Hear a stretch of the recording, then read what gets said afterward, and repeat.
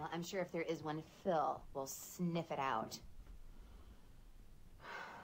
It's not gonna be like that. Besides, you know how I feel about that sort of thing. I know, I know. It's just boys and their bachelor parties. It's gross. You're right. It is gross. Not to mention, it's pathetic. Mm-hmm. Those places are filthy. Yeah.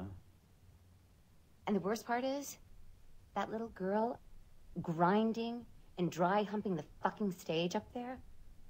That's somebody's That's daughter up daughter there. up there. I was just gonna say that. See? I just wish your friends were as mature as you.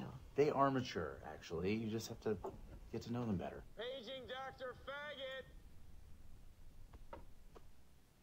Dr. Faggot!